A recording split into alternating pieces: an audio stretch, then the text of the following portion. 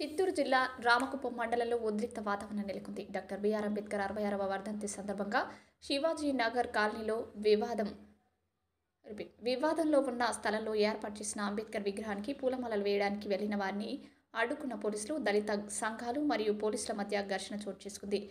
రామకుప్పంకు భారీగా మోహరించిన పోలీసులు అంబేద్కర్ విగ్రహానికి పూలమాలలు వేయడానికి అనుమతి ఇవ్వాలని పోలీసులతో వాగ్వాదానికి దిగిన దళిత సంఘాల నేతలు.